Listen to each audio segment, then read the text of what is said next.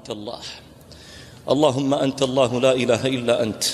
أنت الحي الذي لا يموت والقيوم الذي لا ينام. أنت من جل جلاله وعظم سلطانه. أنت من تبارك اسمه ومن تعالى جده. أنت الملاذ حين ينقطع كل ملاذ. أنت الملجأ حين لا يكون للمسلم ملجأ. اللهم يا غوث المستغيثين. اللهم يا أمان الخائفين. اللهم يا ملجأ اللاجئين اللهم يا معتمد المعتمدين اللهم يا سند الهاربين اللهم يا مفزع اللاجئين اللهم يا غوث المستغيثين اللهم يا أمان الخائفين اللهم يا مجيب المضطرين اللهم يا محب الملحين اللهم يا سامع شكوى المشتكين. نسألك بأسمائك الحسنى وصفاتك العلى. يا الله بأحب أسمائك إليك وأسرعها إجابة لديك. باسمك الأعظم الذي دعاك به آدم فاصطفيته. باسمك الأعظم الذي ناداك به نوح فنصرته. باسمك الأعظم الذي استوهبك به زكريا فوهبته. باسمك الأعظم الذي استشفاك به أيوب فشفيته. باسمك الأعظم الذي استغاثك به يونس فأغثته. باسمك الأعظم الذي استنصرك به محمد صلى الله عليه وسلم فنصرته. باسمك الأعظم الذي دعاك به أولياؤك وناداك به أصفياؤك. اللهم بأنك الواحد اللهم بأنك الأحد اللهم بأنك الصمد اللهم بأنك من سجد له الساجدون وقرأ له القارئون وتوجه إليه المتوجهون.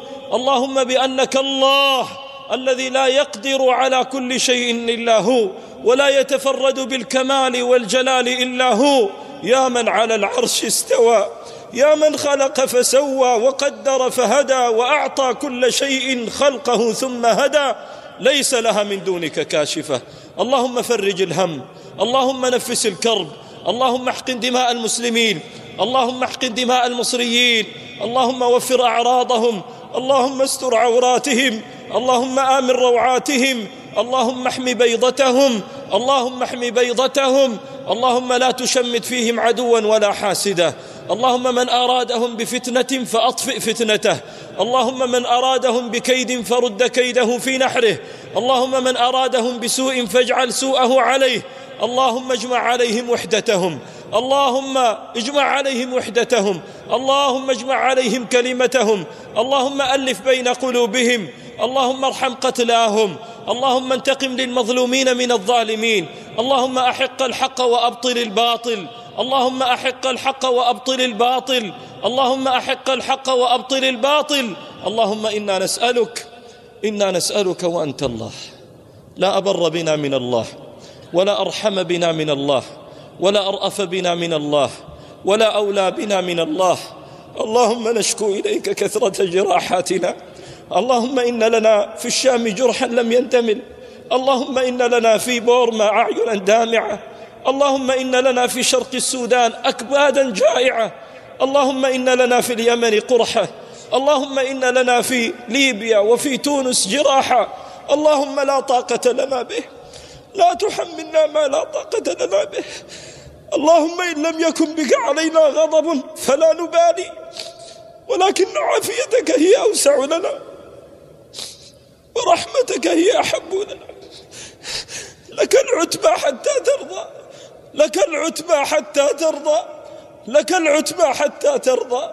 اللهم اقبل من صيامنا وصلاتنا ودعائنا وحجنا وعمرنا. ما ترفع عن أمة محمد صلى الله عليه وسلم مقتك وغضبك وأليم عذابك وشديد عقابك. يا الله نستغفرك إنك كنت غفارا. يا الله ارضى عنا لا قبل لنا بسخطك. نعوذ بك من كل ذنب يحول دوننا ودون رحمتك. نعوذ بك من كل ذنب يحجب عنا رأفتك ورحمتك وحنانك.